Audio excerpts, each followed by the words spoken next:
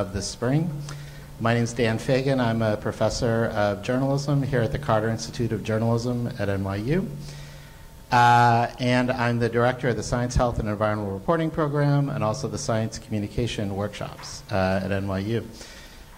Uh, both of which are aimed at improving the quality and also the quantity, if possible, uh, of uh, science communication, science journalism uh, floating around.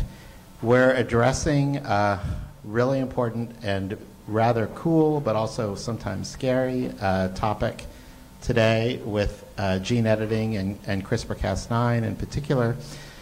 Uh, I will leave the formal introduction to uh, Lee Hotz, but just say for now that we have two fantastic guests, and I'm very grateful to both of them for, for coming, uh, Antonio and Sam. And Antonio, in particular, is a proud graduate of our program. At least we're proud of him. I, I hope he's proud of us. uh, uh, and a fantastic journalist. And of course, Sam wrote an important book with Jennifer Doudna and is himself uh, an important uh, CRISPR researcher and thinker. So we're, we're grateful to have them both. And as always, our uh, ringmaster is Robert Lee Hotz. Science writer at the Wall Street Journal and a distinguished writer in residence at NYU. So, Lee, please take it away.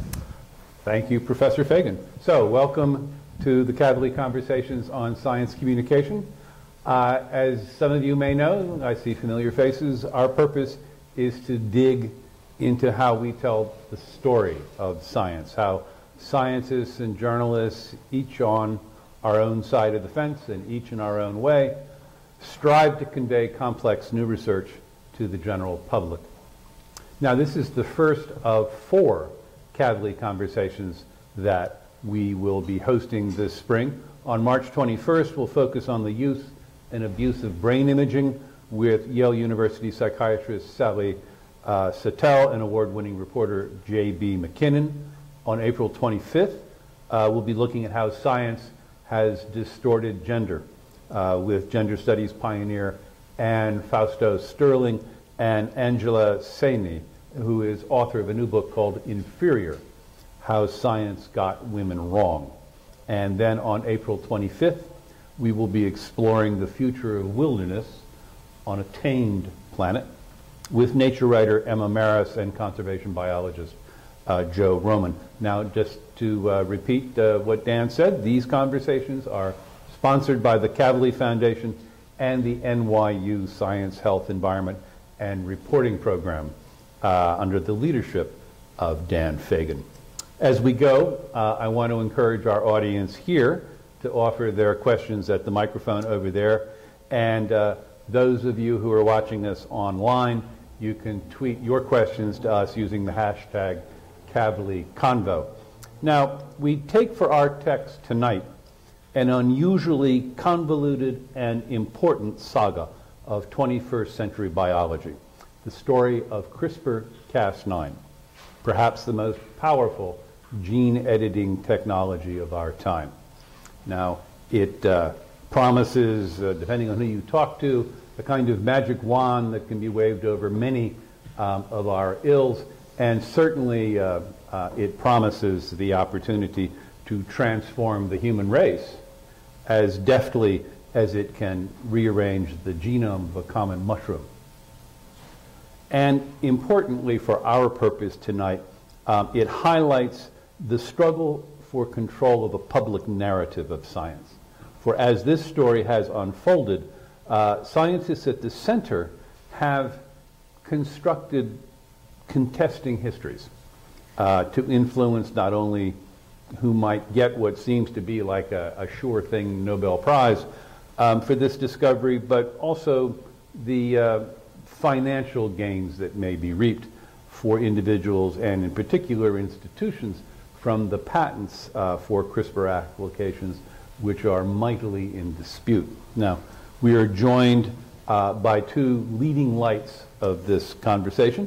Uh, on my immediate right, um, Antonio Regalado, who is senior editor for biomedicine at MIT's Technology Review.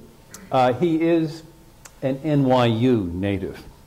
uh, his mother and father were both NYU professors, and uh, he really grew up here. And as uh, Dan has mentioned, he trained uh, in science journalism at what then was SHERP under partially the tutelage of Stephen Hall and Gary Taubes, uh, who were teaching here then.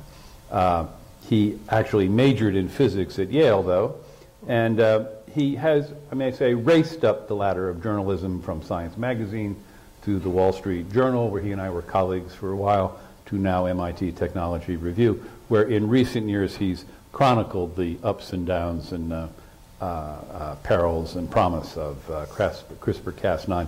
And then here we have uh, uh, Sam Sternberg, the co-author of this excellent book.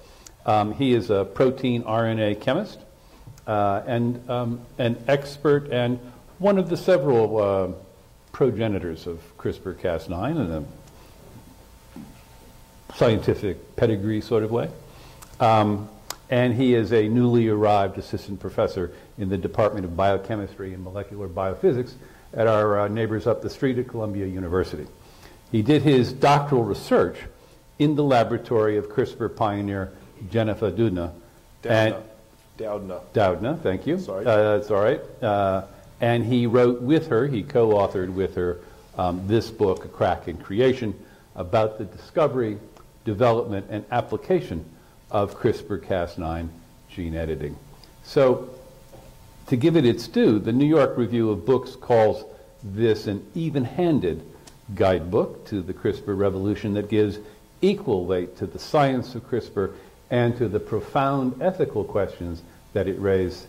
Uh, the book, quote, is required reading for every concerned citizen, unquote. And Sam also was co-author of an article in Science that has proposed a moratorium on editing the human germline using this technology until safety and societal implications are more broadly discussed, and we'll do a little bit of that here tonight. Um, I feel that at the outset here, because of the broader um, dimensions in which this uh, uh, takes place, that I, that I need to, to get you to acknowledge uh, your constraints up front. So, um, Antonio, you write for the MIT Technology Review. MIT is one of the institutions that has a, a dog in this fight. That it'd be easy for a, a reader to think that uh, in your coverage you are simply um, uh, offering the point of view of, a, of, a, of a, an aggressive university that's seeking to defend its share of uh, patent and licensing revenues. Um, is that fair? Well, get, let me just answer the question, like what, what is off limits for me? It's the stories yet to be told. Um, I don't want to preview those here, and there may be even some CRISPR stories that can't be told, which is interesting to think about. Um, as far as MIT goes, uh, Technology Review is a kind of a strange type of magazine uh, published by a university, but editorially independent. Um, and lucky for me, uh, so is the Broad Institute. Um, the Broad Institute is where the sort of East Coast side of the CRISPR story is based, and they are also an independent organization affiliated with MIT. Um, so I'm going to say that it's the independence of the Broad Institute which has kind of uh, taken off the shackles for me ah. covering CRISPR. Okay. okay. So you feel unbridled? I'm willing to throw the rider. well said, sir. Okay. So in a, in a way, let me uh, put the same question to you, Sam, just so we have our boundary conditions set.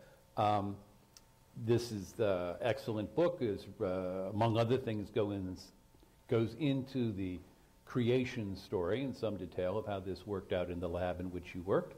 Um, this had to go through a kind of legal review, yeah, so it didn't uh, conflict with a legal position that was being taken. Can you just yeah, I mean, obviously there's an ongoing patent dispute that I'm not a part of, but, but Berkeley certainly is. So uh, there was a bit of overview. Um, you know, the book tells Jennifer's story, not my story, and you know, we don't try to, to, to tell anything other than how Jennifer experienced her lab's work on, on how CRISPR-Cas9 was, was initiated in the lab and how she worked together with Emmanuelle Charpentier.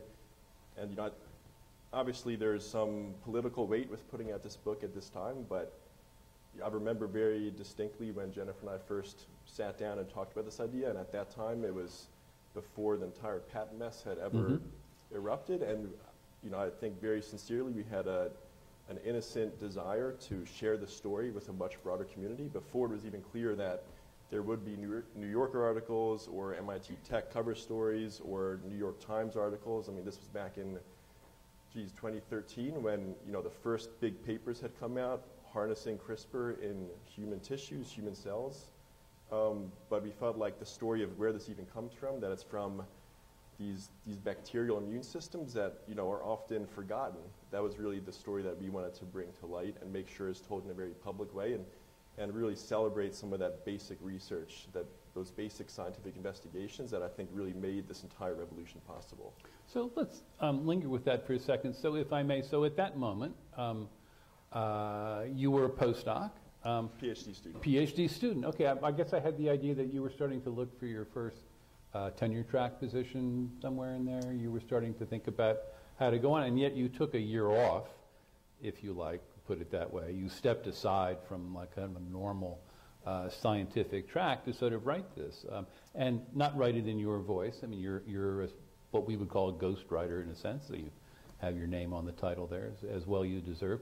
But I mean, you know, why on earth would a would a, a, a sensible, well-educated, uh, apparently sane um, uh, uh, PhD uh, about to launch himself into the job market decide to take such a detour? Well, the job market was, was further into the future. I wasn't quite there yet. Um, I guess it was the dream to be able to be on a stage like this and talk about having contributed to this kind of a project that I figured was probably not going to come along again anytime soon. Um, I mean, as I think you very carefully pointed out, I'm not a discoverer of CRISPR-Cas9. I think, you know, I, I have a very a unique insight having been in Jennifer's lab and worked on CRISPR years before most of the world knew what CRISPR was. You know, I can remember going to conferences in 2009 to an RNA Society conference. I mean, CRISPR is celebrated as something that uses a very powerful RNA molecule for this targeting capability. And even at an RNA conference full of about a thousand scientists, I was the only person with an abstract on CRISPR. So this was really Huh. a, a niche field, not just in, I mean, it didn't exist in biotechnology yet, but even within protein RNA biology, CRISPR was something that maybe a few dozen people were really studying.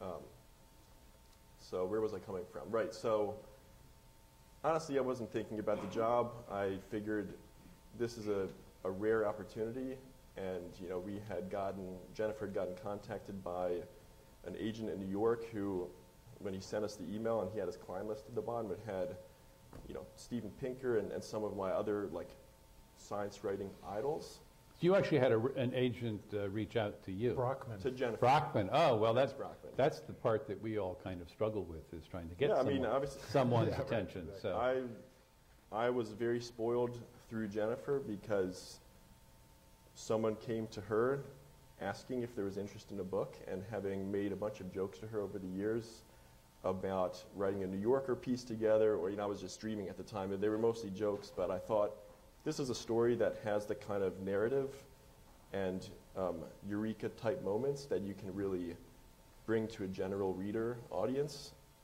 um, because of both where it came from and how far away that was from where it ended up, and the fact that what are the real implications here? Well, it's rewriting the human genome. I mean, obviously, in the, the subtitle of the book, even though it's it was a little more extreme than I initially wanted to go for, you know, that's really capturing, I think, what the possibilities are.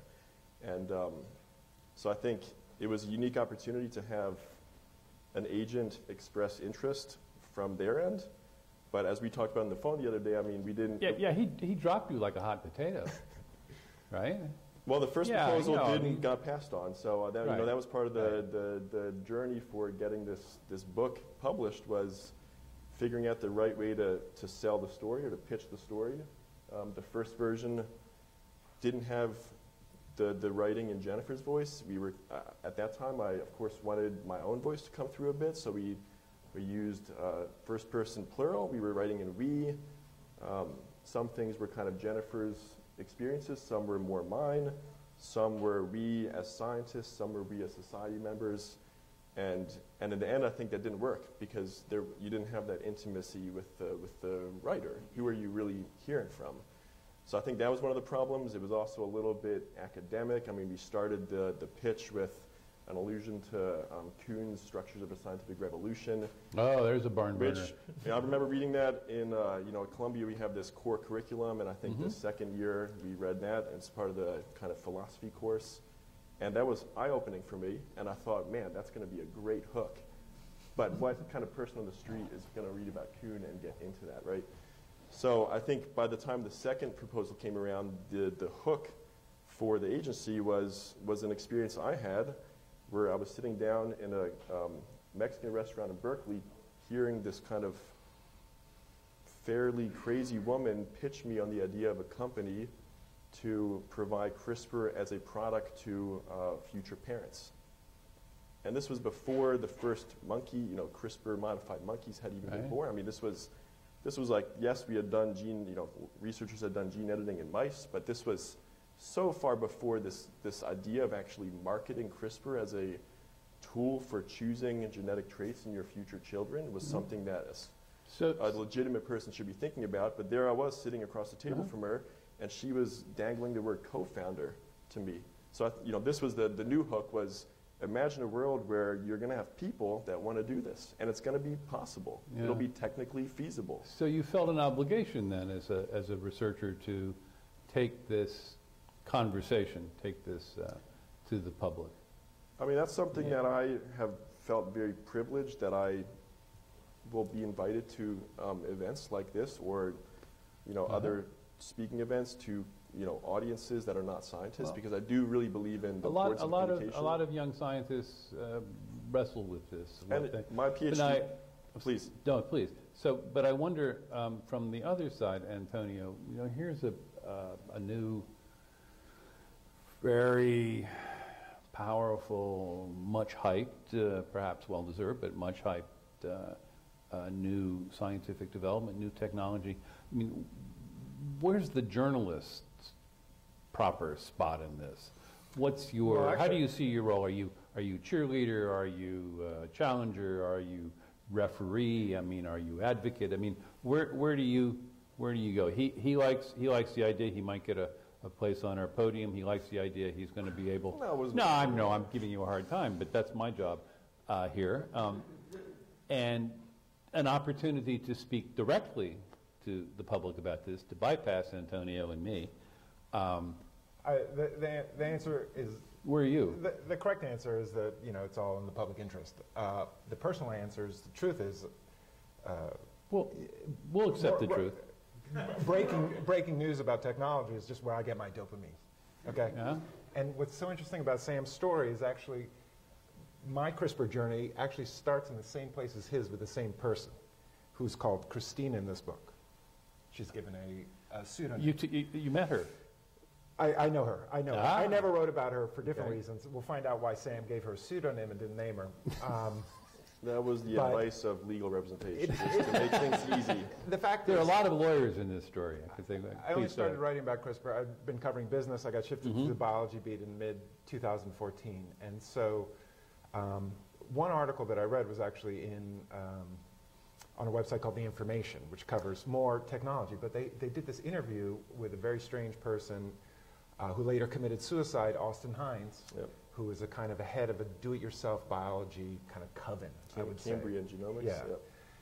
And he, one of the things that he did that was wrong is that he would kind of talk about other people's projects. And so they did an interview with him where he was the one to first articulate in an enthusiastic way about how wouldn't it be great if for just very little money you could just change living things, um, change animals, change people. And, and in that article, he mentioned this, this company that was called Healthy Happy Baby.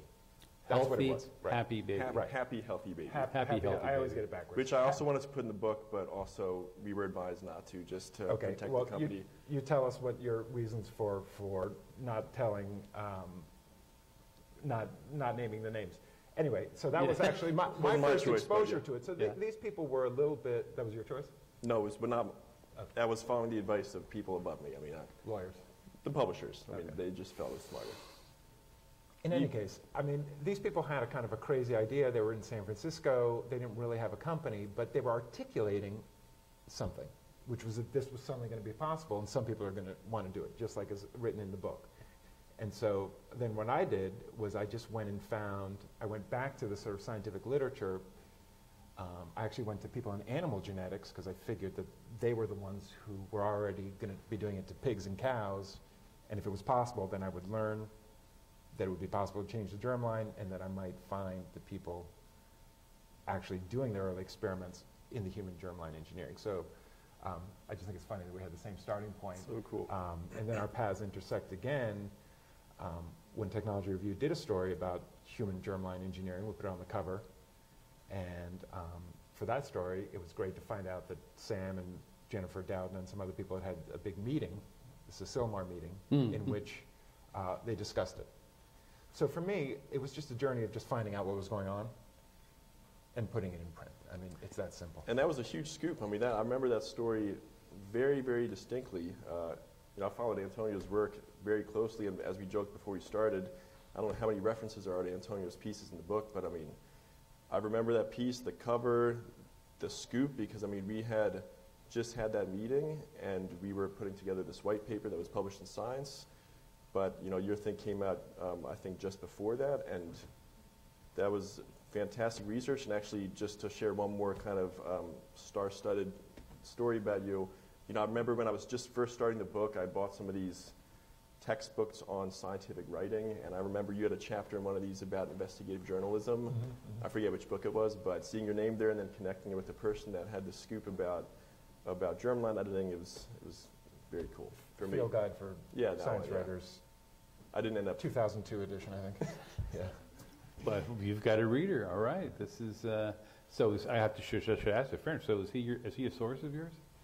Um, Sam, are you a source? Uh, sometimes, like we have a Twitter direct message. Yeah, thing. has he leaked anything Uh, good? I'm just kind of, you know.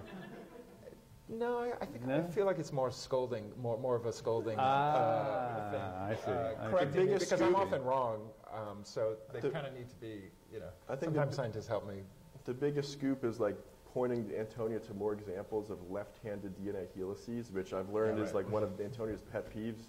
DNA can be drawn two different ways. One is the correct way. One is actually the mirror image that doesn't exist in nature. And Antonio's the guy to pick this up in like popular science images. Right, it, it doesn't exist in nature, but it exists in a surprising number of magazine and Yes. newspaper In fact, the first the first version of the book cover, um, which was never my favorite. That's something that was a fun experience. To, I mean, not to knock on the publisher, but anyway, the first version of the the front cover didn't have any DNA on it. Then they added the helix, and it was the wrong mirror image. And I was immediately like, no, that's got to change. If that comes out the wrong way, that'll be the biggest embarrassment. Right, because Antonio will be DMing you about it. They built a, they built a tower in Moscow called the Evolution Tower. It's a helix, and it goes the wrong way. And I say, well, you can't undo that. Mm. So, I want to understand just a little bit more, if I may, for a moment, about your process and the voice. Because I think the voice, while it may make uh, a commercial sense, I think to people like Antonio and I, it can be, it's sometimes confusing to know exactly who's talking and how how much we're being actually brought in to a process. So I wonder if you would just tell us a little bit about this collaboration. I mean, how did this actually work? Well, just like the one, the one funny follow-up to that is, we had a, a book review in Nature that was not the most exalting. I mean, it was like somewhat critical, and I got one mention, and it was a parenthetical that the co-author Sam Sternberg's voice never comes out, and we don't know what he did really. Um, yeah, I mean, So I guess under the circumstances, that was a compliment. no, no, it wasn't. No? Okay. So bring us into that a little bit. I mean, you Yeah, I mean, so uh, I took the lead in drafting a large portion of the book, um, but I mean, it really was a team effort. Well, I'm sorry, when you say you took a, a large uh, uh, role in drafting a portion of, the major portion of the book, does that mean you sort of like wrote chapters and then took it to your collaborator and say, is this what you meant? Um, Uh, we had, I this- mean, I early mean- on, we had, I mean, I know Jennifer very well. Yeah. We, we developed a very close working relationship over the years. We wrote a bunch of science articles together. Um, so I think we developed a real understanding of our writing style and of how we think about both the material and the ways to frame it.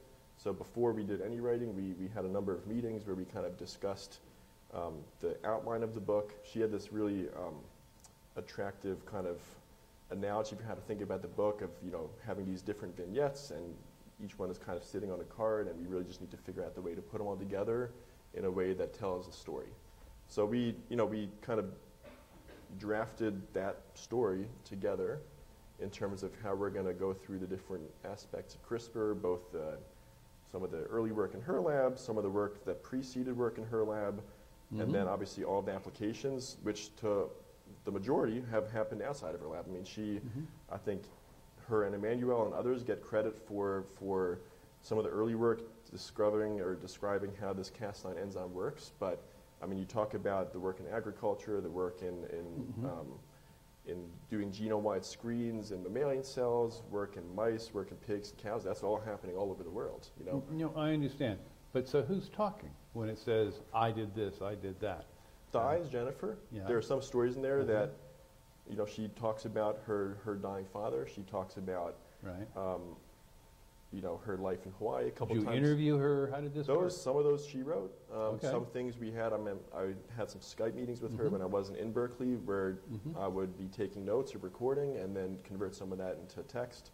Um, I'd say a lot of the, the background and the scientific framework for the birth of gene editing, um, the work that was done in the lab. I mean, I know that stuff inside out from the lab. I did. I read a lot of books and did some background reading on putting that into a framework, and I drafted a lot of that. Um, but so the voice is, is hers. Some things were written more by me. Some things she wrote. Some things we wrote Mhm. together. Everything was approved by both authors. Well, that's only fair. So, when an author writes a book or a journalist writes a story, of course, there's a story that they're trying to, to tell, and, and then there's a, a story that readers are trying to get, and they're Mhm. often not the same thing. And it is a conscious choice here, and I want to ask Antonio about this. When you, um, to kind of leave business out, um, and for those of you who don't know, one of the things that happened very quickly um, as uh, uh, CRISPR-Cas9 sort of demonstrated its worth in a laboratory, a number of companies were formed, uh, attracted a great deal of venture capital money.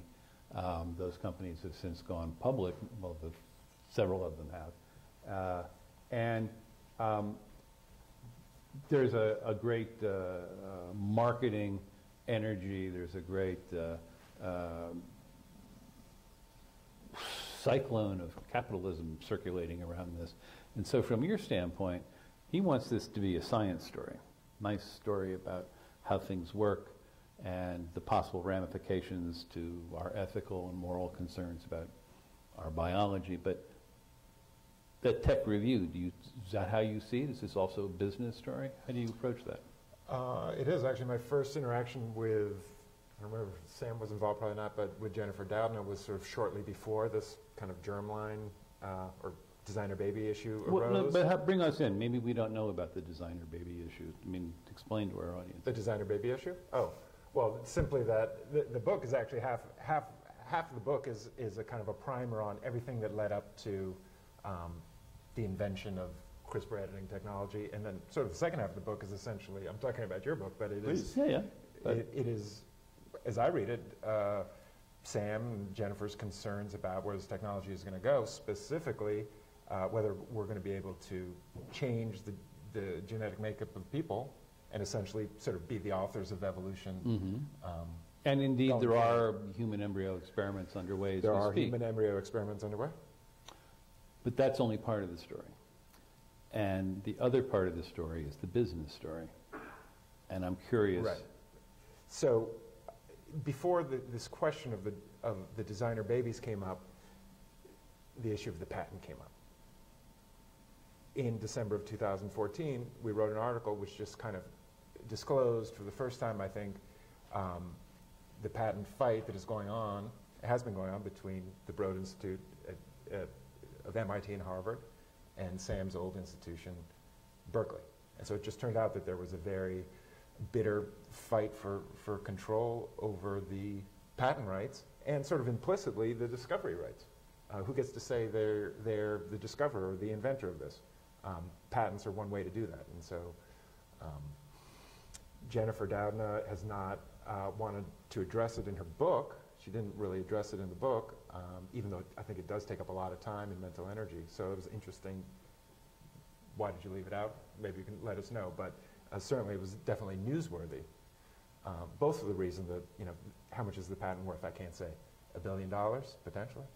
Um, but also then this, the issue of credit, of scientific credit, which to me has got to burn even brighter than the money.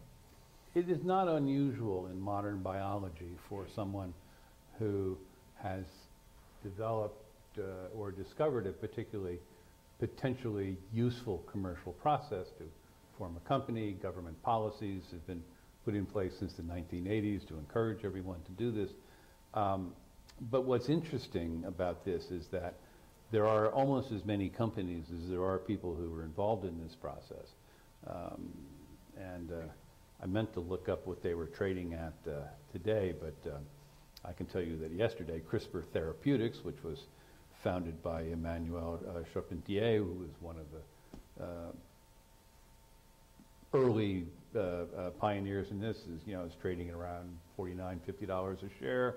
Intellia Therapeutics, which is now uh, Doudna's com- company, is trading around 27 30 dollars.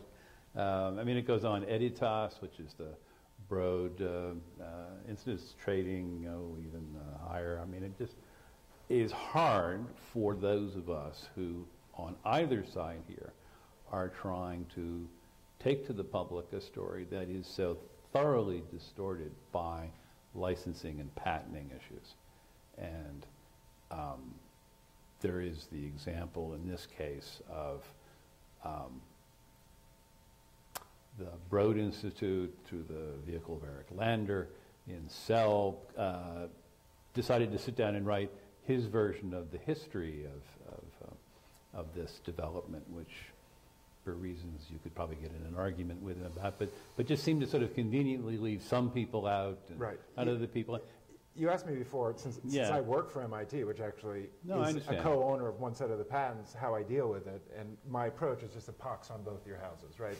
I think, you know, Uh-huh. sometimes, you know, the story's gone up and down, but both these universities, both Berkeley and the Broad Institute, you know, they, they've deployed the patents in a way that doesn't reflect, I don't think, the spirit of this book, like humanity Mm-hmm. first, what does this mean for, for, for everyone? The patents were licensed exclusively to themselves. Jennifer Doudna licensed it exclusively, or the patent application to her startup company, Caribou, and on, on the same instance, the Broad Institute licensed it exclusively to a startup that had its own faculty, uh, you know, as the co-founders. So it wasn't sort of made open um, to everybody. I mean, platform technology in general amongst universities, you license it to all comers. You know, everybody can have a share of this. But instead, it was they were the fight, the fight over control is, is, is in a sense because they license it exclusively to their own companies, by which they've profited before CRISPR has even benefited anybody. These companies went public, so somebody can share, sell their shares.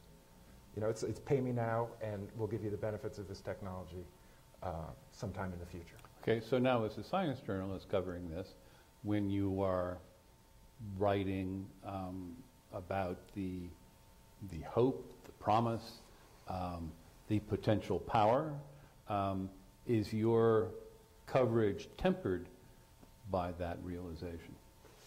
Um, it is in the sense that you have to cover the commercial side. I said before that I believe that you know the issue of credit of of just having made a big discovery has got to be more important to people than money. I think I might be naive about that. Say I might be able to tell more from the inside. You know, I think people are motivated by um, being involved in, in something big and less so by the money. But there is, you know, it is a lot of money. It's you know millions or fives of millions um, you know, that are swirling around individuals. So um, I guess I've never really asked them Yeah, how much, uh, you know, let's ask. if, if that influences. How do you feel about that? I have What's your zero, I have perception? zero millions swirling around me. No, but, but you were, um, for a significant portion of your early career, um, kind of in the middle of this swirl. Well, I'll tell you from the perspective of being in Jennifer's lab, whether you believe it or not, I mean, I would say the lab was pretty shielded from all of this stuff going on. Um, I mean, the work that I did on Cas9, like if it seemed like it was a potentially useful tool, yes, we worked with the tech transfer office, we filed applications after the like provision, you know, the foundational work, but um, we never talked about what we needed to do to lock down.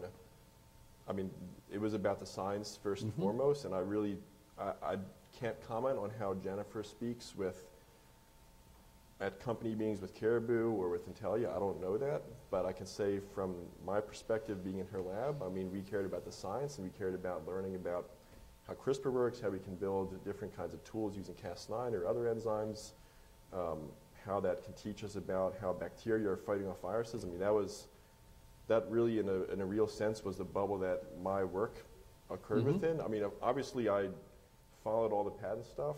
It's quite interesting for me. Uh, it's a major drama, but that, for me personally, was never my interest, and I'm still pretty, I would say, um, naive about patent things because that's just not what excites me about CRISPR. Mm -hmm. Mm-hmm.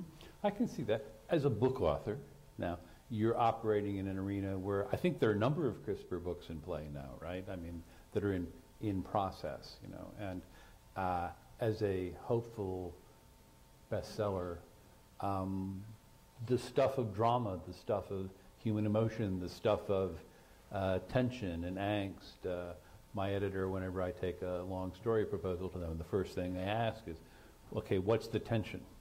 Uh, you know, who gets hurt? Uh, what's at stake?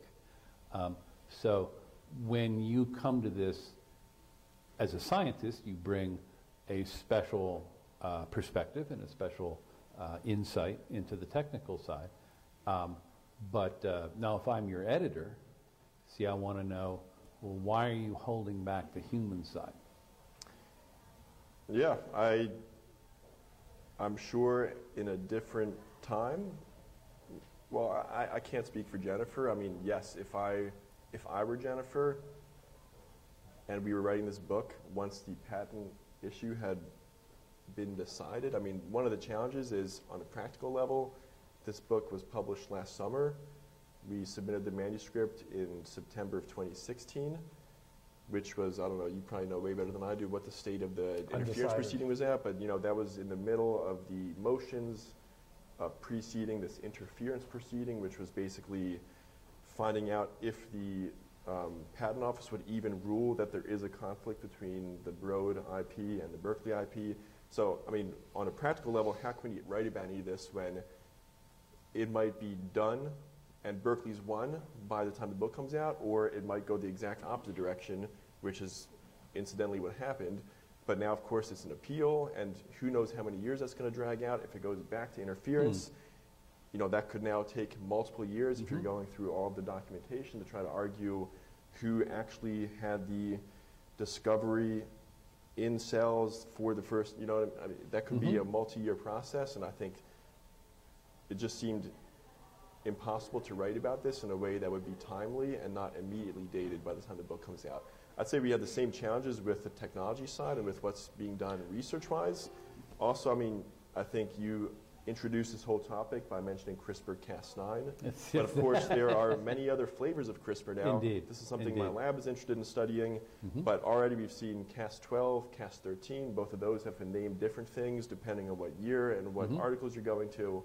So, of course, it's challenging to write about something that has happened but is still happening, um, knowing that you're, it's not like an MIT Tech Review article where you can write the next update to the story in a day, you know? So, so you felt you could, you had to kind of grab a, a, a slice of this history um, that had a, a beginning and an end, even though the story, of course, goes on. I should just remind our, our, our uh, audience online, we're talking to Sam Sternberg from Columbia University, the author of this great book, Crack in Creation, and uh, my colleague uh, Antonio Regalado from MIT Technology Review, who has been covering this in some depth for several years, and that if you have questions, you can uh, tweet them to us using the hashtag uh, Kavli Convo.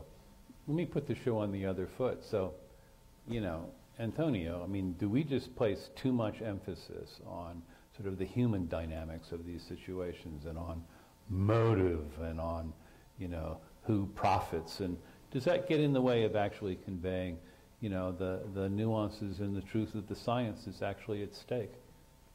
Um, there's a part of I the mean, book- aren't you the problem, Antonio? There's a, there's a part in the book where Jennifer and Sam recount how she gets uh, a copy of Jim Wilson's uh, Double Helix. Watson. Uh, give- Watson. Oh, I mean, Yeah, excuse yeah, me. that's right, yeah. Remember that guy? is in the Remember news that more guy? recently. Yeah, James Watson. James Watson's Double Helix um, is given to her by her father, like a dog-eared copy, and, and she reads it. And of course, um, that book is only about that big, and it's all about personalities. Yeah, yeah. Um, so, you know, I think, you know, the questions that I have kind of about this saga are some of the ones that also go unanswered in the book. Like there's some personal things that have happened, personal dynamics, um, personal fights maybe that, that are not clear to me, um, and that nobody has kind of revealed what the answers. They're also not revealed here. So I think that, you know, I think that the, the, the personal part of the story is more important than we know, and there's less reporting on it than we could have. I, yes, More important than we know why. well, because people haven't said. People haven't said. How, Ah. do- how does, how does uh, Jennifer Doudna feel about her, um, her co-developer of, of CRISPR? Um, how does she feel about Feng Zhang at the Broad Institute? These are not, these things are not revealed in the book. Um, she holds them close to her vest, I guess. So, you know, I think these personal dynamics, just as in your life and mine, I think they're incredibly important. And, and we actually even, haven't even heard that side of the story yet. Is that because you haven't asked about it?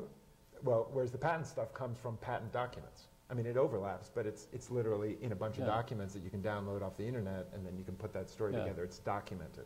Yeah. And, and, I, and I feel I should explain, I'm exploring this topic, this aspect of this topic in part because those patent documents um, have drilled down to such a level of personal detail, what so-and-so said to so-and-so in an email about their uncertainty about something, and this is now because of these broader stakes. Um, you know, you could say is distorting the story, or you could say is clarifying it. I mean, it's really hard to know. Um, do you think that the public has a right to know these things about a, an emerging, powerful technology like that? That they have a right to know something more about the the, the roots of the origin story, Sam? I don't think they have a right to know Jennifer's or mine or anyone's personal life. I mean, and I think some of these things have impacted people's personal lives. Um, I'd say as stewards of the technology and of the way that it's made available, I mean, that's something that should be in the public realm. I would agree with that. Um, but I don't think Jennifer should have written about what was going on in her head when X, Y, and Z happened. Maybe that's something she will talk more openly about someday, or Feng, or George, or any of the other players. Um, I'm sure there are really interesting stories there. Uh, and I was very conscious when we were writing the book that people are going to be disappointed because, yes, I Mhm. mean, you can go to the chapter where it's discussed how the 2012 paper came out and then the 2013 papers, and it's pretty dry the way that that's described. I mean, there's a, that's the crux of the dispute, and it's like two sentences in the book. So I get it that that's like pretty disappointing if you, you know, Mhm. as our reviewer in Nature magazine wrote, if you're a CRISPR junkie, what a letdown. Um, but you know, we, we had certain constraints just because of the timing, and I think because of the what we wanted this book to be about versus what we didn't want it to be about. There will be other books. I mean, I think Jacob Sherkow is writing a book on the intellectual property side of CRISPR. I don't know if you've if you talked with Jacob, but I think there there are other books that are going to be written about other facets of CRISPR. I know Michael Specter's book is coming out. I think next year sometime.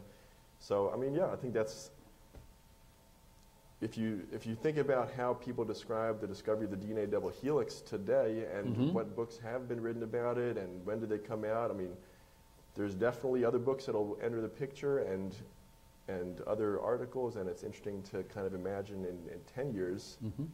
what's going to be the memorable one. So if you were going to describe then for us the slice of this complicated story, of which there'll be many versions, as you just said, coming out, what's, what's, what's the slice, what's the piece of this that you want to be, you know, held responsible for, that you want to be, you want this to be remembered for, that you want this to be the contribution? Well, I could talk about my research, which will put everyone to sleep. Um, I mean, you know, my research in Jennifer's lab was really understanding on a detailed level how Cas9, how this machine really works. And I think we were able to use that knowledge and develop a few different variants and also higher fidelity versions of the enzyme, things that will minimize off-target mutations or basically unintended effects of a gene editing experiment in certain cell types. That's work that we just published last year. Um, and then in my future lab, I mean, I'm, you know, earlier I, I alluded to some of these other flavors of CRISPR that don't have a Cas9 at all. And there's already been plenty of work done in this area, but I think, you know, you can look at some articles from a bioinformatician at the NIH looking at the diversity of CRISPR across the microbial domain, and Cas9 is a minority player. We're talking 10 to 20% maximum of the versions of CRISPR in nature use Cas9. Most of them are using completely different types of machinery. Um, we know a lot about it, but there's a lot we don't know about. And so, I mean, that's, you know, obviously I'm, I'm starting my lab now, so I have, I have to be Mm-hmm. realistic about what I can do and what I can work on that's not going to be gobbled up by the bigger players in the, in the, in the field. Um, One, But- well, sorry, please, don't and then I finish. was going to say, I mean, you know, with the book, I I feel humbled every time I like hear someone mention it to me because I, you know, I'm not a Jennifer, I'm not a Martin Jinek. I mean, the first co-first author on the paper, I'm not a Krzysztof Chylinski, the other co-first author on the mm-hmm. paper, Prashant Mali. The, you know, there are so many other scientists that were in the lab working on the first developments of Cas9 mm-hmm. there are plenty of people that should be far more famous than any of us. Mm-hmm. Um, so, you know, I, I don't expect to be in that mix, but I, I will do what I, you know, can So, do. so I've been pushing you hard on the, on the culture of credit, and I appreciate your good humor about it. And that's really about half the book, I mean, what we've just been kind of uh, uh, talking about. The other half, you really, uh, clearly, the two of you felt an obligation to kind of lay out some fairly serious things that you think that all of us ought to be worried about, that all of us ought to be thinking about how, um, as citizens, as people who may be affected about this, this is the stuff that should keep us up late at night. And I wonder, Antonio, is, is this valid, do you think, these concerns? Or um, is this something that, that uh, I know that as long as I've been a science journalist, which is quite a long time, I've been um, reading scare stories about designer babies, for instance. Right. Well, this time the scare is real. Ah, see, So, okay. I, yeah, right. I mean, the second part of the book, I, I think, is, is very interesting because, as I said, my reporting story intersected with, with Sam and, and Jennifer Doudna's own efforts to sort of bring this designer baby question to light. Well, open And that so up I a little bit. What did you do? I just, I, I just found out that they had this meeting. They had a meeting in um, January of 2015, I guess, in California. It was modeled on sort of on the Asilomar meeting, which was held in the 1970s when people first learned how to splice DNA, and they were worried about that. Um, was that too powerful? Would that be dangerous? And so they, they kind of cooled off for a second. They had a meeting and, and discussed it. So this, this meeting in California was sort of in a Asilomar 3, I guess because it was in Asilomar Two, 2 yep. um, about designer babies. So I had the opportunity to interview uh, Jennifer Doudna at that time, and it was very interesting because she had a very conservative point of view Mm. on using this technology. In what sense? Well, I had very specific questions. Do you agree with edit? Because at that time, people had just started to edit the cells. There was no, there still is no designer baby that we know of, but people had were editing cells in the laboratory, cells of the germline. Could you edit an embryo? What about editing a sperm cell? What about editing an egg? And she said that she was uncomfortable with all those experiments. But that, that, to me, that has turned out to be a kind of a dissenting view, a view that biochemists might hold. Because once the technology was picked up by cell biologists, by people in the fertility business, by people who are interested in changing uh, the genomes of mammals, her, her view was kind of shunted to the side. They couldn't accept, this is my, this is my reading of it, Sam, you can jump in, but I don't think that they could a- accept her conservative point of view, which is don't edit cells of the germline. For these other scientists, no, this is a freedom of speech issue. This is what they, they do. These are the cells that they work with. Um, so I've seen over this, over the intervening two years, um, her voice get sort of pulled along um, into, by the scientific mainstream into a position which is much more liberal um, as far as germline editing. You know, the, the When you say liberal, maybe another person would say more adventurous, uh, more. It could be adventurous, liberal, accepting. I mean, just the reactions to the papers when people edit an embryo, they went from sort of horror to sort of, oh, that's interesting, to wow, very exciting. Isn't that the you know, nature over- of, isn't yeah. that the arc of science in the 20th century and 21st century? Well, we'll never do that. We don't know how to do it anyway. Why are you bringing it up? Oh, well, but, but hey, now look how cool this could be. you It may, know. it may be that scientists never really, you know, they didn't have to tell their true opinions because it wasn't possible. It was very convenient. You could say, oh, no, you know, we never want to do that, but as soon as it becomes possible, then you, then you have to expose your, your true view about whether it should be done or not. There's good reasons to do it. There's plenty of reasons not. Mhm. I think it's interesting that Sam and Jennifer took probably the most cautious position amongst mainstream, you know, university biologists, I would say, Mm, I don't know if I agree with that. who practicing scientists. I would say the viewpoint part in the book agree with? is actually very much in line with what the national academies have recommended in their report from last year. I mean, we basically conclude in scenarios where if it's proven safe in preclinical work in animal models, and you have scenarios where parents cannot otherwise conceive a healthy child free of genetic disease, that would be a justifiable use for CRISPR or any gene editing approach.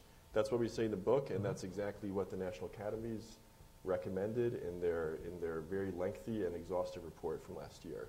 So I, I agree. I think the, the um, attitude in that white paper in Science, I mean, although we did very explicitly separate research applications of CRISPR in germline cells, meaning it could be sperm or it could be embryos, but that are not being implanted for pregnancy, as opposed to clinical uses. And even in that report, although it's often described as um, proposing a moratorium on any germline editing, if you actually read it, I mean, we really just said there should be, you know, it's not safe at all yet to think about clinical uses, but research uses was kind of put on a separate, in a separate Mhm. bucket. Um, Mhm. I do think, I would agree that maybe my own opinions, but maybe Jennifer's, maybe the opinions of people at that meeting was certainly more cautious in 20, um, what was that, 2015, in the first part of the year, then by the end of the year, then certainly by 2016 when that um, National Academies report came out. So let me just turn this around for a second. We're an audience here of, of pretty much the core audience here of, of uh, uh, beginning science journalists. Um, we're at the outset of our careers. We're looking at this very important story that in one way or another is going to occupy, you know, a considerable portion of the energy of our craft for Lord knows how long going forward. Um, where and this is a question for both of you. Where do I, at the beginning of my experience with this, jump into the middle of what surely, whatever we think of the, of the patents or the designer babies or whatever, is one of the most intricate and complicated stories, both scientifically, emotionally, and in a kind of political regulatory sense. I mean, w- w- where would I begin? How would I do that?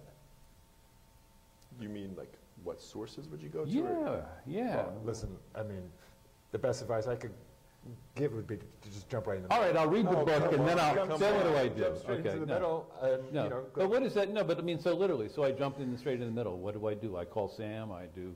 I go to uh, um, whatever the patent equivalent of you know Edgar is. I mean the online database. I mean, literally, what would you do as a step one, step two, step three, step four to bring yourself up to speed?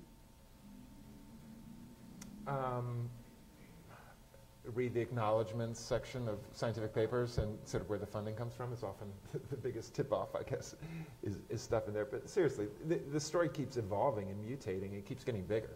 And we've seen from previous stories, you know, the story of DNA, previous technologies, DNA sequencing, cloning embryonic stem cells. I mean, the, the kind of the story arc goes on for decades, right? Going for two decades. People are still talking about it, it's still in the news. Um, so it's just going to continue, is, is one thing. And then, you know, the story gets more complex and goes in different directions. We have someone here from Gizmodo that has, you know, they've created a beat just on sort of DIY biohacking, which Yeah. often involves CRISPR. So, Yeah. um, you know, they jumped in with a kind of Gizmodo style, you know, said we're going to write about the biohackers. Um, so there's, you know, so many ways to uh, approach it. My, my own advice, advice is to actually read the scientific papers um, to get familiar with sort of the details. That's where I start. What would you do, Sam? I mean, I, I have this a version of the same problem just in my day-to-day life because I, you know, I get Google alerts in my inbox for CRISPR. I get PubMed alerts. PubMed is a database that many researchers use to keep track of the scientific literature. And it used to be that, you know, CRISP, articles with CRISPR in the title or abstract would come in a slow crawl, maybe one or two a day, maybe, but usually like a few a week. And now, I mean, I'm inundated with 10 or 15 and it's it's tempting to try to like figure out everything that's going on and i think one downside of having been involved with the book is that i like to keep tabs on what's going on with crispr well outside of what my own lab is going to do but just because i'm interested and i feel invested in what's being done in preclinical work for therapeutics or what's being done in agriculture i mean these are topics that i have way more interest in now than I did five years ago because I was able to expand my horizons a little bit by trying to put my work in the lab and Jennifer's work from the lab into a much bigger context and to see that there are big issues that this all plays into.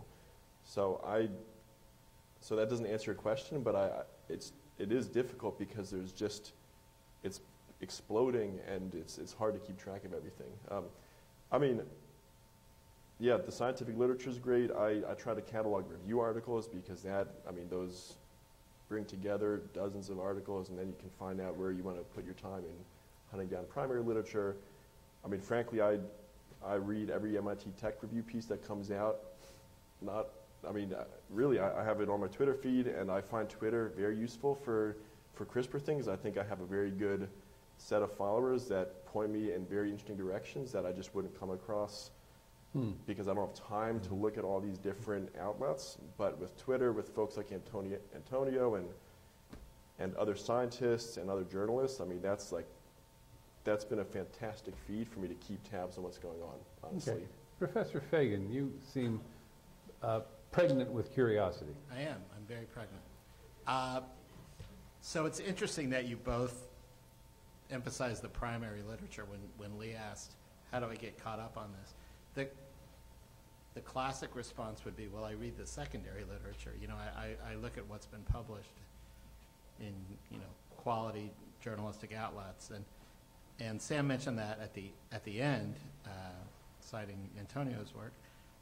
But I wonder if in general, the fact that neither of you talk much about that is that you really don't think much of the coverage, Hmm. the, the, the, the lay, the coverage for lay audiences so far. And if that's true, like what, what's the problem? What, what do you see that you don't like in most journalism about Hmm. CRISPR-Cas9 in general and about, you know, human germline work specifically? Are, are, is there is there too much gee whiz and not enough oh my god, or is it vice versa, or what what do you see that the people in this room could learn from and, and do better in, in, in the current journalism on this topic? Yeah.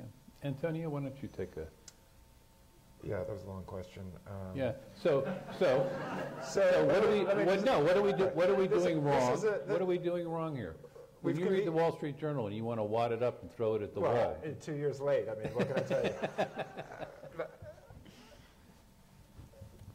Science, science. Uh, there's a, we've convened science reporters here. I actually don't consider myself a science reporter. I consider myself a technology reporter. But about technologies, they have, just happen to be the biotechnologies. Okay, so just like um, you can imagine TechCrunch, there's all these magazines about technology, and we care about every little thing that Google does and every little step that Apple takes and every personnel move because um, you know we use those technologies in our everyday life, and so we're curious about them, and you know they touch us. The, the, the thing about CRISPR is it doesn't, you know, for the man on the street, it doesn't yet matter. You know, it doesn't affect anybody's life. So it's still the sort of specialized information, right? N- People just don't need it. Okay. They don't need it. That's why the patent story certainly got a lot of play because you know it's just a fight. So you know you just just like slowing your car down on the highway. It's You know, true, it's just true. something to, to look at. Um, so I think it makes it hard to, you know, because it, it doesn't affect people's lives. It makes it hard um, to bring to, to a wide audience. I mean, people do it, of course. Um, you know, they write profiles of people and they say how Mhm. important this technology is, kind of world changing. Um, but how many times can you say that? Um, I'm lucky enough to work at a magazine that's sort of, sort of public facing, sort of a trade magazine, and so I can kind of, you know, uh, play the difference between those. Um, so that's my answer. They want you to criticize the, the press coverage, but you, which you should. Well, let's put it this way. you should do it. We're offering you an opportunity. Yeah.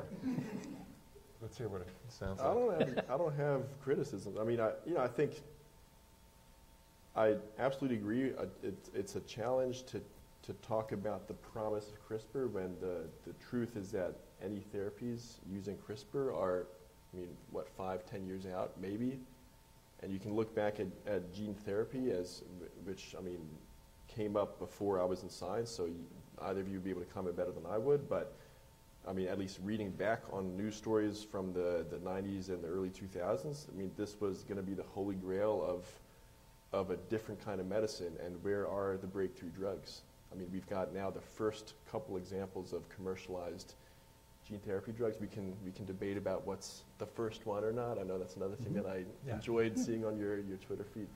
Um, but, you know, I think, is there a risk of instilling too much hope by saying this is the end to genetic disease with CRISPR. I mean, and I often say, in terms of eradicating mutations in a petri dish, that's just old hat now. It's easy.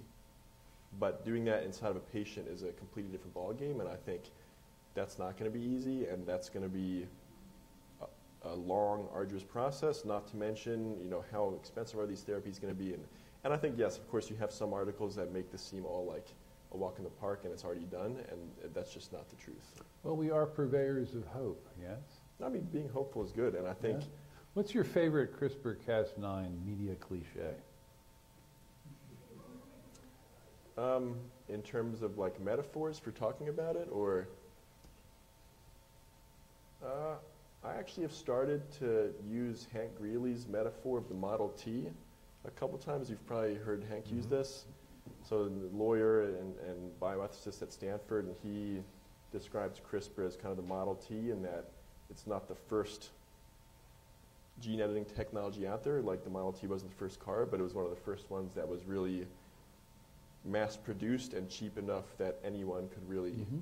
Have this. Oh, so, I so think you like you like that one? I do. I think it's very apt. I mean, I Right. think for researchers, again, I didn't come from a gene editing background. I, I came from CRISPR. Yeah. But, I mean, before CRISPR, I, I know we, we mentioned an anecdote in the book of, of a colleague of Jennifer's at Berkeley who was using this previous technology called ZFNs. And it was too complicated to build themselves, so they were spent, you know, I think they got a deal with Sangamo, which is a company in California, for reduced pricing, but they were going to be like $20,000 for a single version of a ZFN. And that's a multi-month process to build them and to use it. And now you can screen thousands of different versions of CRISPR in a week Yeah. for like a hundred bucks. maybe. You Mhm. can make a library of Mhm. guide RNAs and Right. test them all on an arrayed or a pooled screen. And you know, anyone with a molecular biology background can pretty much do this experiment now. So that's that's uh, that's really a game changer. So that's what makes it the Model T. It Yeah. comes in one color, but everybody can afford it.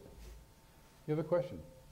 Yes, um, I actually want to go back to the primary literature that you guys were discussing earlier. And uh, what I wanted to ask was that if you do look at the acknowledgement sections, you often find that scientists who are working on applications of genetic technology often have conflicts of interest. Um, because it is such a small community still. So I was wondering how to uh, deal with that as a reporter, especially, or how Antonio deals with that as a reporter. How do you take into account people's conflicts of interest? How should you take them into account? Antonio? Right. Well, actually, so the, the conflicts are not um, scrupulously disclosed, right? Sometimes they're disclosed Yeah. and sometimes they aren't. Um, it came up in this famous uh, episode where Eric Lander, the head of Broad Institute, wrote an editorial in Cell, sort of telling his own story, and he was about CRISPR, and he was cast as the bad guy trying to warp the narrative. And people pointed out that he didn't have a um, disclosure, a financial disclosure um, disclosing that the Broad Institute had all these patents. But in fact, he had filed one, um, and they hadn't used it. And Oh, really? Oh, I didn't Yeah, know that. and then in the same issue of Cell, Jennifer Doudna had her own um, Huh. uh, review article, which was very technical, but it also lacked a disclosure. Um, so it was interesting, you know, neither side of the dispute bothered to disclose, uh, you know, the, of course, there's a million dollars um, at stake. Um, I just, as long as we're on the, on the subject Oh, thank of, you, of yeah. news sources, we have Kevin Davies in the audience, and Yes. he's the, I guess, the founding editor of the CRISPR Journal. So um, there's now a home, I suppose, just to plug this for uh, new, No, absolutely. I was going to point it out. you know, people. People, I have a copy of this, Yeah. so someone can grab mine if they want to, you know, start their journey into CRISPR's this opening issue. Well, uh, if, is- if we is a had any question about the legitimacy of CRISPR as a career-making field of inquiry, the fact that it now has its own journal um, should uh, put any doubts to rest. And one of my favorite, can I just mention a favorite anecdote? I wish you would. Yeah, what's your favorite CRISPR? Well, this Uh, is one that hasn't ca- caught on, but I, I'll tell you. Well, then it's probably still useful, though. This actually helps answer the, the, the person's question and um, also picks up where Sam led off about how CRISPR is distributed around the world. It's distributed in different ways, but particularly from a company called Addgene. It's kind of a nonprofit Mhm. company in, in Cambridge. And the scientists can submit their DNA strands, sort of in bacteria, I guess, to this group, and then and then they, they literally have a mailroom. And in the morning, there's these interns pick up these packages, sending the CRISPR all over the world, uh, to Brazil, to India, uh, not to North Korea apparently. Um, and it costs sixty dollars. So you can you can kind of get into the CRISPR business for sixty bucks. In fact, you could probably order it to your house. Whether you could do anything with it is, is a different matter. And so something that came up in the sort of the acknowledgement section of, of the first paper in which the Chinese edited human embryos. Mm. I went down, you know, I read the abstract and then I go straight to the acknowledgements. And the acknowledgements said, we, we want to thank Addgene for selling us this CRISPR, you know, for selling us the, the reagent to do this controversial experiment on human embryos. And so the cliche that has not caught on is that um, it's like the, the, the Visa ad. The cost of CRISPR is $60 Mm. and editing the human germline priceless. you see why it's kind of it's sort of a tortured Yeah, uh, thing, uh, but I thought it you was got to work on it. I think you the got to work delivery, on the it. delivery needs a little bit of work. Yeah, delivery, but there yeah. may be a headline in there somewhere. Yeah. I don't know. Um, Uh, it was a footnote to a paper, but I thought it was Uh-huh. very interesting. You know, this kind of world-changing thing. They paid sixty dollars by mail order to get it. One of the interesting things about this technology is its democratizing effects. Uh, you mentioned the uh, do-it-yourself biohacking, Mhm. and now we can uh, mail order even if we're uh, in China or another country uh, that may or may not be subject to export controls. Um, how does this affect how we ought to be thinking about this as journalists? Should we just be looking at the big institutions, or should we as reporters be a little bit more broad-minded? as reporters. Um, yeah, Yeah, there's a lot of coverage now of the do-it-yourself uh, biologists. I kind of made the comment on Twitter the other day that this should now go over to the media desk and not the science desk because a lot of these uh, DIY experiments are just kind of spectacular things to get attention. There's not really that much uh, science in there, but it's something to watch because what they're talking about is, is they're, they're kind of advocating this point of view that you know anybody should be able to, to do gene editing. Anybody should be able to modify you know the thread of life. And I'm pretty comfortable when someone like Sam is doing it because he spent a long time in school and he's been indoctrinated. He's part of you know, this culture, um, and he's got a career in science to think about. Um, but I'm less comfortable, honestly, when it's somebody, uh, a millennial, which is already scary, you know, um, Yeah, that's not. who, who has not, who is not part of the Guild of Science and is playing with this stuff. You know, that, that I don't think that that's that great an idea. What's the next big story, Sam? Where's this going? Well, I'm reminded of the first time we met when actually one of the first things you told me was if I told you what was it, what were the words you used? If I told you that there was like a huge secret that I couldn't tell you, what do you think it would be? Do you remember this? Mm-hmm. You were alluding to some crazy story. You couldn't tell me what it was, but you wanted me to guess at what it might be. Mm-hmm. And and I feel like at some point I thought maybe that story came out, or maybe that's still a story, or it's not a story anymore. But as an aside, I'm quite curious Okay. if you can comment on that. I mean, of course, coming back to the, this question of germline editing, so the, one of the most recent papers that got covered very widely in the media and in the scientific world was from a, a research group in Oregon that did um, that used CRISPR in human embryos to a much higher level of efficiency with, according to their analyses, you know, little to no off-target effects. There have been some questions raised since then about if their analyses would have really caught some of the off-target effects based on the way they were doing the DNA sequence analysis. But at the surface, I mean, I think it's becoming clear that whereas, like Antonio said earlier, 10 years ago, you could kind of just be against germline editing and you didn't have to justify it because it wasn't possible anyway. That time has come and gone. Um, so, of course, I'm left wondering when is it going to be, uh, when will there be a pregnancy that's resulted from the use of CRISPR? And maybe it's already happened. I mean, people often love to throw China under the bus and say, of course, it's going to happen in China, and maybe they're already doing it. Um, I'm not saying that's true, but you know, I think people are concerned that there might be areas with less regulatory structures in place where this could be going on. I often mention the story of actually a fertility doctor in New York City who um, was one of the first people to knowingly use this three-parent IVF approach, um, mitochondrial replacement therapy. And from what I understand, the actual molecular um, I mean, the injection or the, the nuclear extraction and the um, replacement inside of an enucleated egg that was carried out in New York, but the implantation into the into the mother was done in Mexico, specifically to avoid the fact that this would have need, needed to have been approved by the FDA to be done in the U.S. So I think that brings up this concern over medical tourism and the fact that, you know, Mhm. even if it's not legal here, there could be doctors using the cutting, you know, the most cutting edge approaches, and then just simply flying somewhere where there aren't any laws about it. Well, you know, it's interesting, and I want to get your thoughts. When cloning first became possible as a technique in higher mammals, you know, um, there was just, I mean, the world was consumed with stories for a period of some years of cloning human is just right around the corner, and we really need to be worrying about this. Um, uh, and yet, with, with the, the perspective of some time, it turns out that the thing we needed to worry about was Barbra Streisand cloning her dog.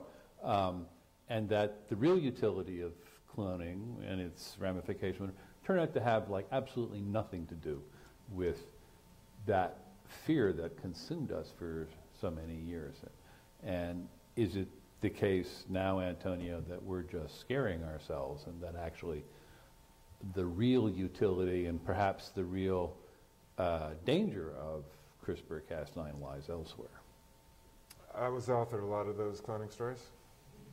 I Um, feel confident you did. Yeah, but in fact, and so actually, with the scientists were arguing in favor of human cloning in, in one way. They wanted to do this thing called therapeutic cloning. They said we have to make identical cells to Sam, and we can only do it by taking Sam's skin and putting it in somebody's egg and making embryonic stem cells. And so there was a kind of global lobbying battle over that fantastic technology. So not only was the human reproductive cloning apparently we don't know that it's happened. Apparently that was a kind of a dead end. But also the technology that the scientists were advocating for and taking up brain space with was a complete uh, dead end. And people kind of knew it then. And a different way of making well. clone uh, of stem cells came along. iPSCs. Right, a better, So- a better Mhm. way, a better Mhm. way. So, um, you know, Sam said before, it's not just CRISPR-Cas9, now it's CRISPR XYZ. Um, we're, we're just going to have better ways. So we take the story that we have today, it's CRISPR, it's a sort of simplistic patent fight, it's the characters that we know about, Jennifer Doudna, Feng Zhang, Sam, and, and we're trying to get a hold and understand where biology is through this lens. That's why we pick it up. It tells, it's an, it's an opportunity to talk about where biology is. Tomorrow the lens is going to be something else. Cloning, CRISPR, something else, but the trajectory is clear. The trajectory is, you know, control over biology through the genome. Kind of modular control, total control. And that's what this book is about too. That's very scary to have that kind of control. Because that, I mean, we're talking about life itself. And then we're talking about democratizing the control. So any troll can have it. Think about it. I am speechless. Yeah. Unusual state. So then, given your perceptive analysis, what is the next story? For you, for you, what is the next story? Ah, um, the next CRISPR story? Sure. I can't say what it is. It's actually, we'll, we'll talk about it later. It's actually, there's a couple of stories that, that I don't think have been told for, No, for a we're while. not- so We're not can't- going to tell anybody. No, no, no, no. No, it's a great temptation to reveal something. I'm sure scientists have the same temptation to tell uh, your next idea, and I, I won't do it. But, um, you know, what's been interesting about CRISPR for me is actually led me back to gene therapy. Really? And I think it primed all of journalism to, to, to pay attention to gene therapy again, because we're writing about CRISPR, and suddenly this older technology, 20 years old now, is finally reaching the place where it's curing people. So we also have now that suddenly the demonstration of just Lazarus-like cures. You know, people are being cured of hemophilia in one dose. This is through a virus that just adds a gene to their genome. CRISPR is sort of gene therapy 2.0. We're not going to see those treatments for a while yet.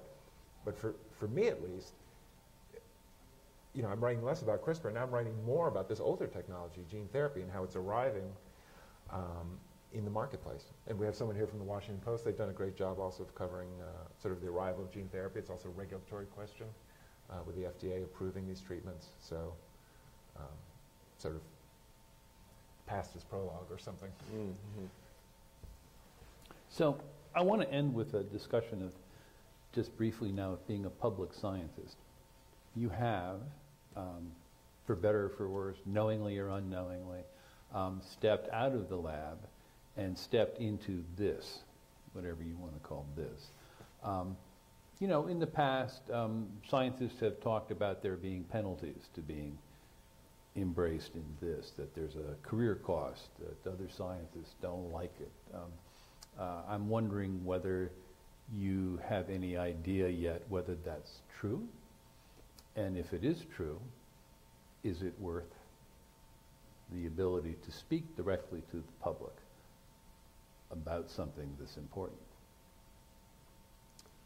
Um, I haven't had any real experiences where it's where I've felt like I've paid a price for having written the book. I also feel extremely fortunate and excited that I have this new gig at Columbia. And I mean, I think for my future, I'm certainly retreating a bit from these kinds of events, or at least trying to really stay focused on the lab because I'm not going to be like I, I want to be known for my science and not for having been in Jennifer's lab when CRISPR was happening. You know, I want to, even if it's not a name like Jennifer's, I'd like to make my name for, for the research coming out of my future group. And, and frankly, I mean, what inspired me to come back to academia was the, the time I spent mentoring people in Jennifer's lab, um, my time at this company, my, my years where I was teching at Columbia. You know, I love working with students, um, undergrads, grad students. I love working with other colleagues, and it's just all of that joy is coming back to me being back at Columbia.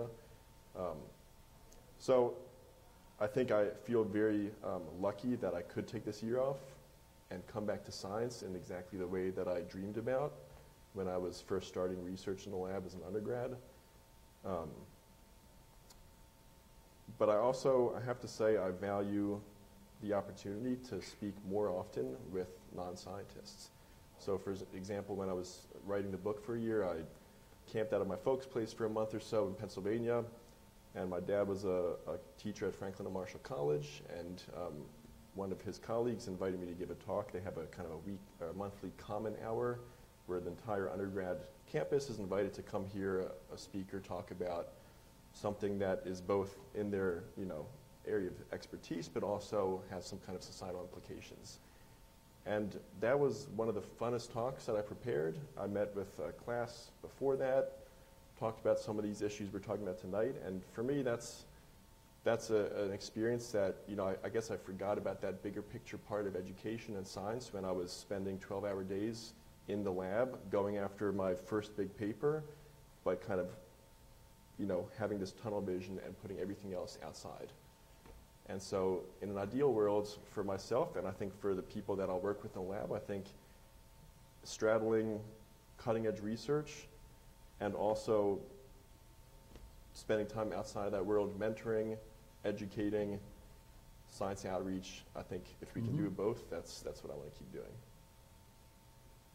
Do you think he has the freedom to speak honestly about his work? About his scientific work? Mm-hmm. Uh, yeah. I think so. I don't, I don't have any reason not to think so. Sure. He's a chemist, so I don't, I don't, I don't even think about chemistry. It's too complex. I stick to the genome. It's sort of easier to picture in my mind. Do you, do you have your doubts, or? Well, I remind you that, that we began this conversation by setting some boundary constraints that you operated under, you know, the idea that you were perhaps uh, attached to one player in this dispute and depending on what, how well one knew you or didn't know you as a journalist and know your work, that one might look askance at his coverage and say, well, this is really, you know, coming from this way. And in the same way, um, in order to, I don't know about the second half of this book, but certainly the first half of this book, um, a, uh, an attorney pursuing a, a, patent challenge could have a field day with a very careful account of uh, of how this particular discovery came to be. Um, and it's constrained. It's constrained by legal considerations. Yeah. Um, so that's the framework, or but that's the, the context in which I asked this question. I appreciate that in this arena, you have the opportunity to spread your wings as far as you want and say what you think. But in the world of research of discovery of priority, perhaps you're more constrained. That's where we started. So but in that that's world, why I asked the question at yeah, the end. In that world, I'm a scientist and I go off my research and my data, and if my experimental data support my, I mean, that's it's just a different language, and it's not about the priority. It's about do I have interesting science and the the results and the interpretation that support it. So I, I think that's very actually quite different. I do think, I mean, it's interesting, what is the real history of CRISPR? Is there a history? I mean, I've seen Feng give talks that, that don't mention Jennifer when he talks about his um, origin story for CRISPR. And frankly, it could be totally true. I mean, I, that guy is brilliant, and there was a very clear path to thinking about using these systems for gene editing that didn't necessarily need to go through a biochemical understanding of how Cas9 works because there was a lot of genetic evidence, and one could use that information to design experiments and still arrive at the modern day version of the tool. So, but that is not to say, I mean, there are many people that might view Jennifer and Emmanuelle as the co-inventors because the way they learned about CRISPR was reading her paper. Um, so even though there may have been another pioneer that had his own path to developing some of the tools that are probably the most commonly requested plasmids on Addgene, um, there are plenty of people that experienced or were introduced and entered this field through a different narrative altogether. And then, of course, there are other stories about other scientists that are ignored even more often, like Virginijus Siksnys, who, you know, had this casualty of, of submitting a paper to a different journal, and it could have come out before Jennifer and Emmanuelle's, and it came out later, and you know, so there is. I don't think there is a. Everyone has a bias based on their own experience. There is no one true history, and um, I think what's been interesting for me, my view of the science I've read about in other disciplines. I mean, I like reading a lot of science nonfiction, and I'm realizing there's got to be a story like this behind most things. And what I end up learning, I mean, if I'm going to read one book about, if I'm going to just read Jim Watson's book or just read The Eighth Day of Creation, well, hell, that's going to be my, my understanding. I don't have time to read every book. I don't have time to go back to the, to the 50s and read everything that was published about who did what, and, and you end up getting the slice of history based on the sources you have time to read. Um, so I'm not making a real point. I guess I'm just. No, you're describing the, you're describing the plight of the journalist, for sure. We, we come to this with what we think is, uh, well, not the truth necessarily, who knows what that is, but, you know, our collection of facts. I mean, Antonio, I mean, yes, and that shapes our worldview of a situation. Your, your understanding of this has evolved, has it not? Um, it has, it has. I mean, for me, it was sort of like Trump Russia before it was Trump Russia. It was just the CRISPR story. It was that complex. It was that had that, had that many moving parts. And I think in my own case, just to echo what Sam said, um, was a developing acknowledgement that actually many people were reaching the same destination, the same truth about the world and biology at the same time on different paths. And so then when, if it's a dispute about who got there first or who really is the inventor of it, of course it was invented by nature, who discovered it maybe, um, that all these stories are true at the same time. Um, so as a journalist, that's the most interesting thing is to, you know, to learn about, you know, how many paths to CRISPR. Maybe someone will write a book, you know, the nine paths to CRISPR. I don't know. And if you and you take anyone out, and I think we're still where we are today. Maybe maybe we're there in a year from now or six months from now, but this is not one of those discoveries where I think, well, maybe that's not. I mean, you could say, well, no, I think we would have gotten here at some point anyway. I mean, you could go much further back with CRISPR. I think if CRISPR hadn't been studied by, let's say, Rodolphe Barrangou and Philippe Horvath or Mojica, I mean, certainly I think to get enough uh, uh, critical mass research in CRISPR, that was important, and that could have stalled us getting to where we are. But I think from the 2010s onwards, we're going to get to the same point, even if you pluck Jennifer out of the picture, or Emmanuelle, Yeah. or or Feng, or George, or Prashant Mali, any, any of these So, people. Do you agree with that? With it, um, And not to put you on the spot. to pluck people out of the story?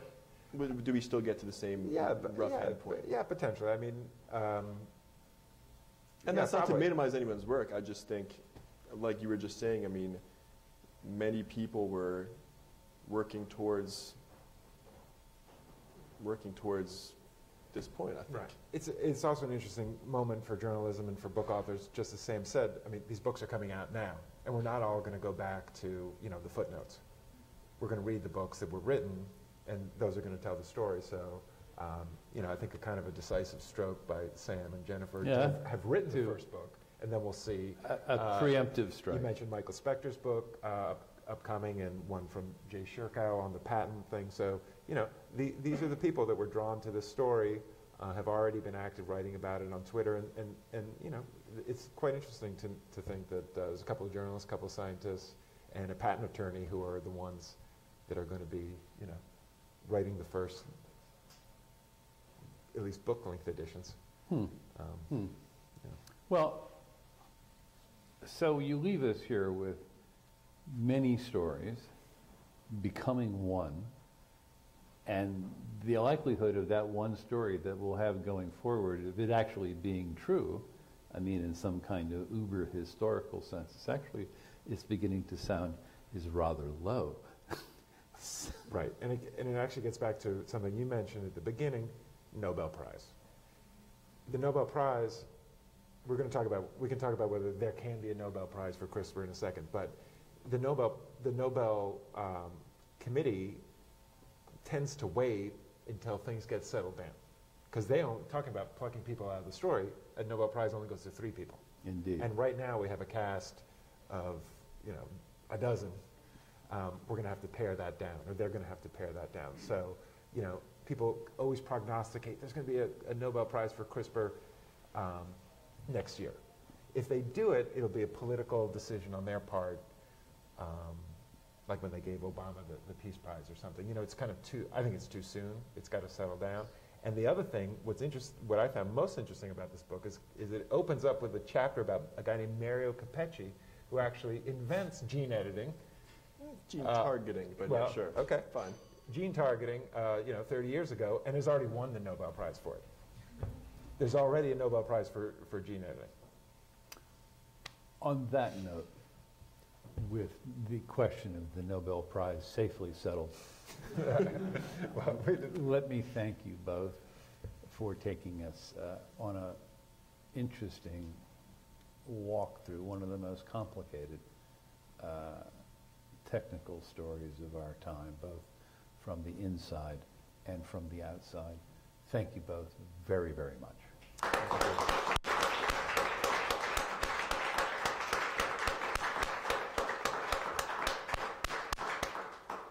Now, I hope that uh, you might, if there's any beer left or glass, beer left or glass, beer left or glass, beer left or glass.